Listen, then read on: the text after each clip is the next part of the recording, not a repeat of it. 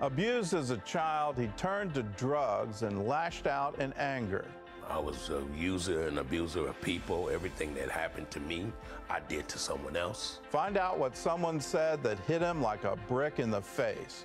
Plus, New York Times bestselling author and pastor Jentezen Franklin tells us how to love like you've never been hurt on today's 700 Club Interactive. Well, welcome to the show. It's March Madness time, and that means plenty of basketball. As high school basketball teams finish their seasons, we want to highlight one exceptional team in Illinois. Jerry Prina is the coach of the girls' Eureka Hornets. At the beginning of the season, he shared Colossians 3.23, whatever you do, do with all your heart. The team seniors decided to use that verse to keep them motivated and focused throughout the season and even put the verse on the back of their team t-shirt. Though the team finished fourth in the state, it was their best season in school history. Senior Natalie Bardwell told the Peoria Journal Star, We wanted to be those lights that we can be, and we just want to be the ones sharing the gospel, even if it's as simple as sharing a verse on the back of our shirts. She then goes on to say, I think that we represented Eureka well, and we also represented God well this entire season.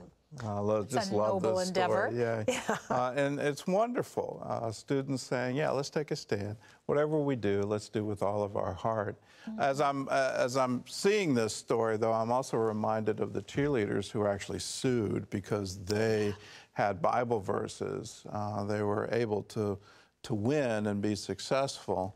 Um, but you know, we need to be vigilant in our country today, and we need to stand up for our rights That's, for yes, freedom of religion. We have the right to express our religious beliefs.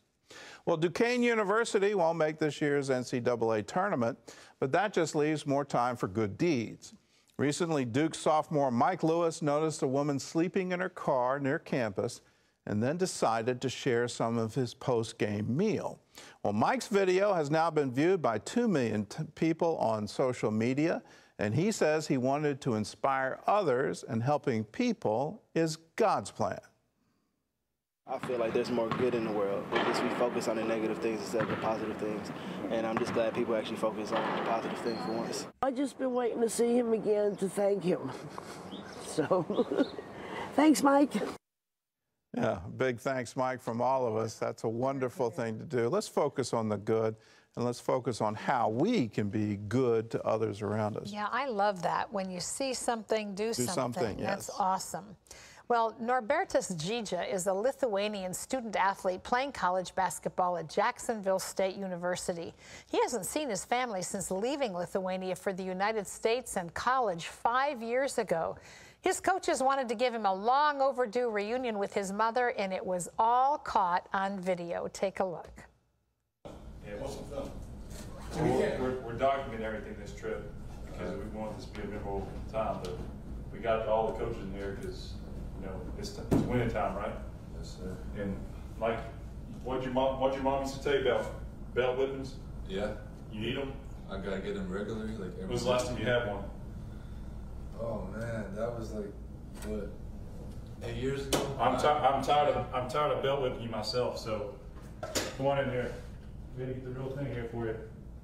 No, no, no, no, no, no, no, no. Belt whipping. Hey, come on! You said you needed one. Come on. That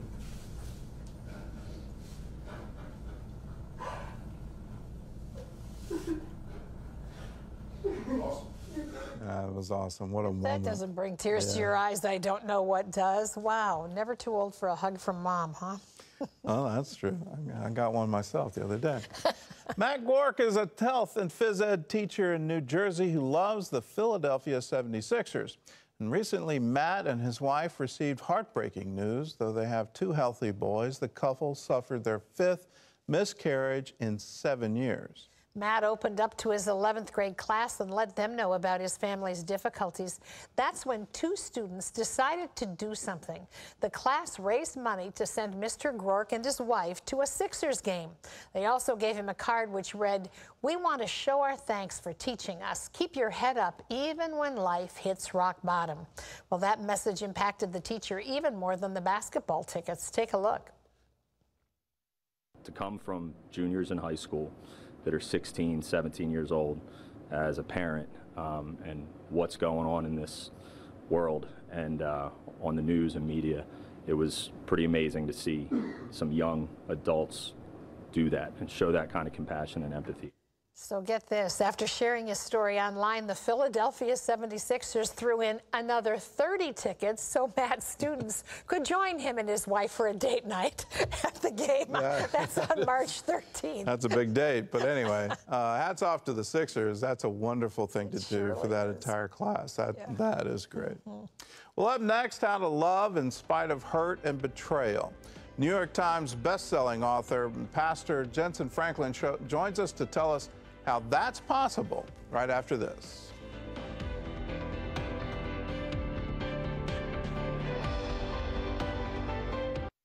Well, as Christians, we're well aware of the chaos that can sometimes invade our lives. However, we often forget that those shepherding the flock can face troubling times as well. And Pastor Jentezen Franklin is sharing his hope in light of hurtful and trying times. Jentezen Franklin is a New York Times bestselling author and the pastor of Free Chapel Church in Gainesville, Georgia. When his oldest daughter began to stray in college, there was constant friction, and life behind closed doors was like a war zone. In his book, Love Like You've Never Been Hurt, Jentezen shares glimpses of the tests and struggles in his life and offers four ways he found to love, even in the midst of difficult circumstances. Well, Jentezen, you join us now. What, what was it like? As I understand it, your daughter was just a model child growing up. Yeah, we, my wife and I have been married 30 years. We have five children, four daughters, and then a son born in that order. And we were the picture perfect family. And, uh, you know, there, there is a unseen pressure of being a pastor. And, you know, we have six campuses and a lot of people and on television. But we were the picture perfect family, and then she went off to college, and same old story, just did what, what some of us did. I did it and lived the party life, made some wrong choices, wrong people. But she got in deep, and we knew something was wrong. I'll never forget one, one day I was preparing to preach and had about 30 minutes. And my wife burst into my office, and she was in tears, and she said, I guess it's that, that uh, a woman's intuition to know something was, we had to do something. She said, We've got to go get her. And she was absolutely right. So we drove up to the school and brought her home. It was tears, and she was ready to come home. She, she wanted, we, we, we might have saved her life bringing her home. And we thought things would, you know, we're on the road to recovery, but it got worse, it got darker, and she ran away. And to make a long story short, it devastated our family and it devastated the siblings and our, our home dynamic changed. There was a lot of arguments, a lot of, and you know, we decided this was 10 years ago. My wife and I just decided to talk about it because we, I, I hear it all the time. I hear it all the time, Gordon. You know, something's happened in our family and we just don't get along. We don't speak anymore, live in the same town, got relatives across the city there that you never even talk to, never have a meal with. There's a sickness in the body of Christ. There's something wrong with Christians that we can't, we can't get beyond our conflicts and our hurts and our offenses. There, it, with your daughter, there was a sort of defining text that she sent. What, what was that? Yeah, she had ran away from home and, uh, and she sent a text and, and said, Mom and Dad, I'm married. I got married today. A justice of the peace married us. And as a minister, you know, as a preacher, uh, that was devastating to me, to her mother.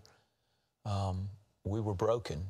And um, the next week, I had a, a, wedding, and it was one of her mm. friends.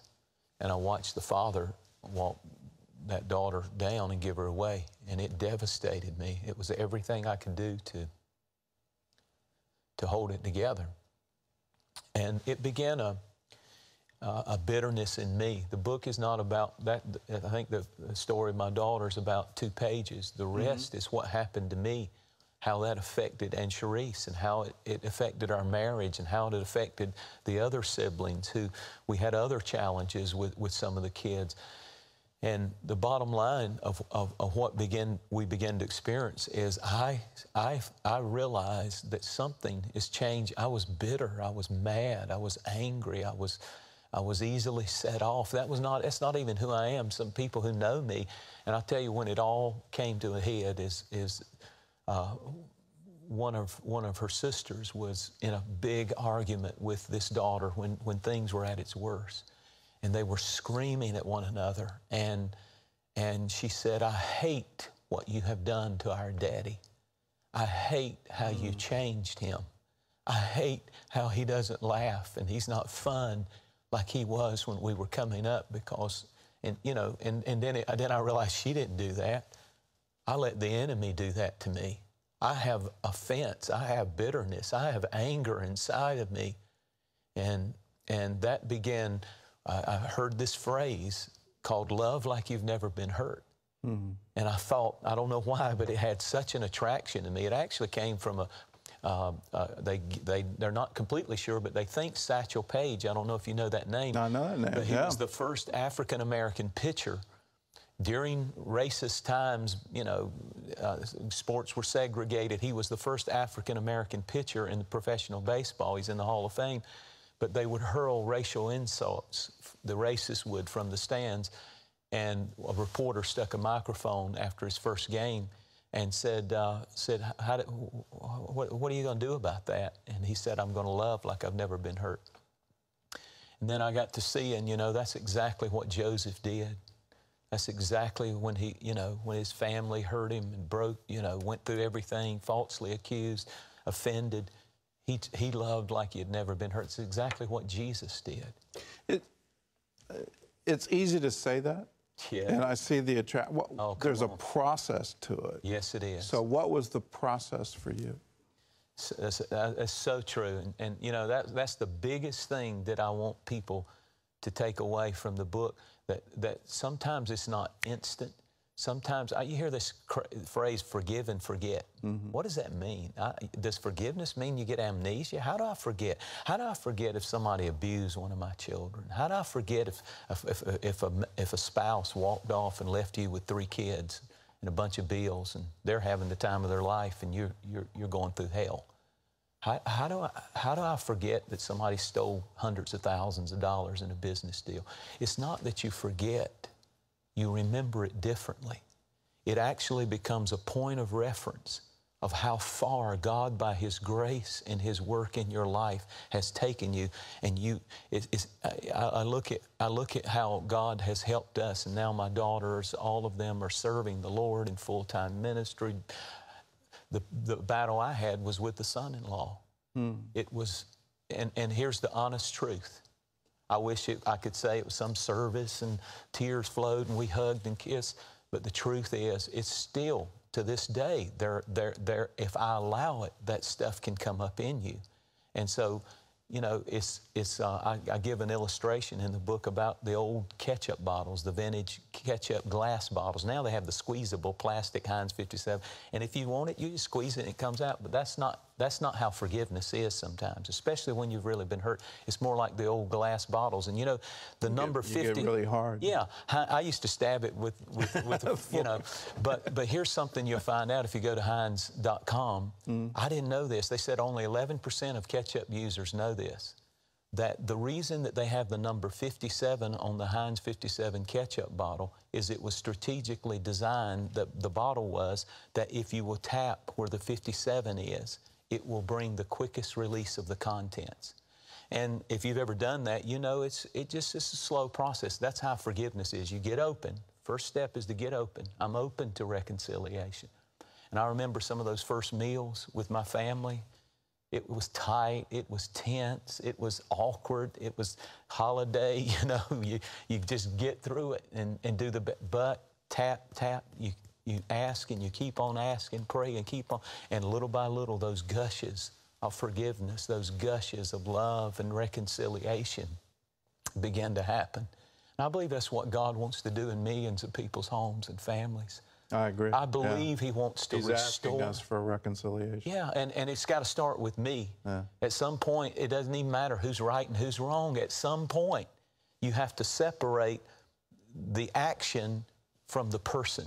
I, I, I, don't. When I say I forgive, it doesn't mean that, that I agree. What you what you did may have been wrong. You it, it, there's no defending it. But I can separate the person from the action because that's what Jesus does for you, and He does for me every day of our life. He He says, "I forgive," and now He says, "Turn around and love like you've never been hurt." Amen. Amen. Jentezen's book is called Love Like You've Never Been Hurt Hope, Healing, and the Power of an Open Heart. And I think this is a universal. I think all of us go through this uh, and realizing that love comes from a place where you're in Him. Uh, that's what releases it. I encourage you to get it. It's available where, wherever books are sold. And thank you for thank being you so with much. us. Yes. Great to yeah. be with you. All right. Terry, over to you. Well, coming up, a man at the end of his rope. There's only one thing left, and that's to die or make a new um, approach at living. Find out who helped him make the right choice. That's next.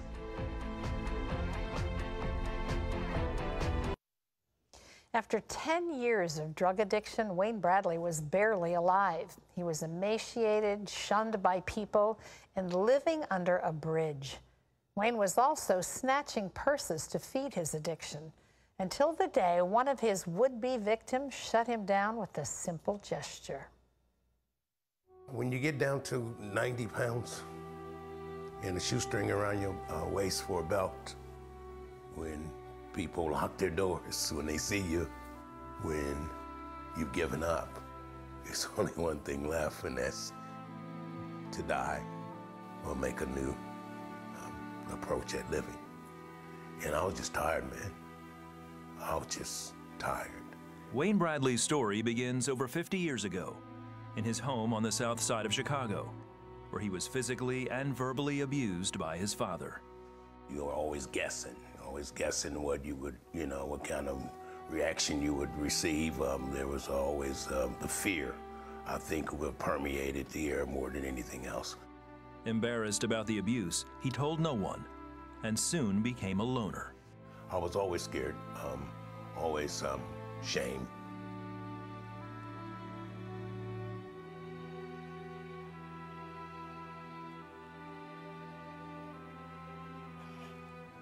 I was always, um, I think that even in the pain and in the times that I was hurting the most, I was always afraid that something would happen. That um, something would happen because I knew, even at that early age, I knew that it couldn't go on like that forever. And I just was always afraid that something would happen. And it did. It did. After high school, Wayne joined the Army and served four years. For the next 16 years, he worked as a trucker and then as a security guard. But drugs and alcohol were a constant problem. I think the main reason I was an addict, I used so many drugs, is because I was trying to hide. I was trying to hide from not only from the things that had happened in my life, but I didn't want to face me. I was a user and abuser of people. Everything that happened to me, I did to someone else. Um, I was not good news. It was not good news. And um, from military to 96, I was, a, I was a mess. That mess was about to get much worse. It was April 1996. Wayne went to see his parents, only to find them dead in their home. Both had been brutally stabbed and beaten. Then he learned the killer was his older brother, Craig. It became probably the biggest challenge of my life. I'm telling you, I was totally messed up and I was strung out on all kind of drugs and alcohol. I was mad at, at my family. I was mad at my dad. I was mad at God for putting me in such a screwed up family. Wayne lost his job, and over the next 10 years, he became emaciated, shunned by people, and barely alive. And ultimately, it ended up with me living under a bridge in homelessness and addiction. And I had submitted my life to that. Wayne became a purse snatcher to support his addictions. One time at a bus stop, he saw an older lady who was a perfect target. And I'm looking at her purse, and, and she's looking at me, and she just said, Young man, no matter what you do to me, I just want you to know that Jesus loves you. And it kind of just like somebody threw a brick in, in, my face because Jesus loves me.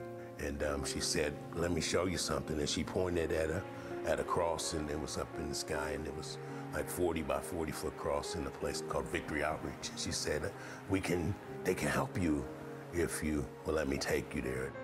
Wayne agreed to go with her. I was tired of hiding. I was tired of running. I was tired of getting high. I was tired of being scared. I was tired of lying. At the church's recovery home, the people treated Wayne like family, and he learned about Jesus Christ for the first time. What I really learned was that he was real. I saw him in the people who accepted me and at my worst, who loved me unconditionally. Wayne had a glimpse of what could be, but his addictions were stronger than his will to get better. Eight months later, he was back on the streets, looking for his next fix. In 2007, Wayne went to prison for larceny. Purse snatching had finally caught up to him. And when I got to prison was when I really found myself alone. And I'm and you know what I mean, where I didn't have anything else but God. And I got my hands on the Bible and I was reading and I was finding out more and more about Jesus. And I realized that I was right where God wanted me to be. And uh, that's when I gave my life to Jesus. You know, I started getting a personal relationship with Jesus and I wanted more. After serving nine months, Wayne was released from prison. That same year, he married Jackie. God changing him to be a man who is um, confident in who he is in God, as a man of God. And when he speaks to you, he speaks to you from his heart, looks in your eyes, and you can just see the pain, the sadness is gone, and it's been replaced with a peace. I've forgiven my brother for the crimes, for the murder of my parents. Um, we we talk now. He calls. Um, actually, just called the other day. Um, he calls on a regular basis. We write to him. We send him things that he needs. Together, Wayne and Jackie founded I Can Celebration Ministry. Sometimes that's what has to happen in order for God to get your attention. He's got to get you somewhere where there's no distractions, where there's nothing else but you and Him. And that's what He did for me. Wayne has been clean and sober since 2012, and he now has a new perspective on his struggle with anger. I thought I was mad at people, even with my brother with the murders. I thought I was mad at him. And all this time, I've just been mad at God because He never did things the way I thought He should. But now, I understand why God did things the way He did and once us His grace. He's taking us through something to get us to something. But I'm gonna pay attention to Jesus when He shows up in my life. I'm gonna pay attention to Him. You know what I mean? And, and, and here's, the, here's the good thing Jesus will go anywhere, and He'll meet you wherever you are. He'll just love you too much to let you stay there. You know, the Bible says that he leaves the 99 to go after the one who's lost. Boy, Wayne has so much truth in what he shares with all of us in his story. You know, when things happen to you when you're a child, the number one emotion that most people feel is fear, and you just run, you just hide, you just want to get away from it, you don't want to feel it, you don't want to see it, you don't want to be it. And so we, we harness all of that junk inside of us and we hang on to it and we let it, without realizing it, begin to define who we are. But it's not who we were created to be. You're a child of God made in the image and likeness of your Heavenly Father. He created you with plan and purpose in mind, and His word says that He saw you before you were ever formed in your mother's womb, knew you had your name carved in the palm of his hand, wanted to call you his own, invited you into his presence, into his family. You know, earlier, Pastor Franklin was talking about the power of forgiveness. You know, that's part of what happened in Wayne's life. He let go. He said, God, this isn't who I want to be. This isn't how I want to live. These feelings, even anger toward God, this is not what I know will make my life matter. I'm letting go of it. And I'm just going to let you be God. It's the beginning of an amazing journey of forgiveness, of healing, of wholeness, and vision for who you are, for the future God intended for you. No matter what's happened to you, no matter who you are or where you're at today, God's love is extended to you. If you need to pray with someone about healing and wholeness and forgiveness, our number's toll free, and the person answering it is somebody who's already found that. 1 800 700 7000. Call now. A friend is standing by to talk with you. Gordon? Here's a word in closing. It's from Colossians chapter 3. And whatever you do, do it heartily, as to the Lord and not to men. That's a good word to meditate on. Whatever we're doing, let us do it unto the Lord. God bless you. We'll see you again.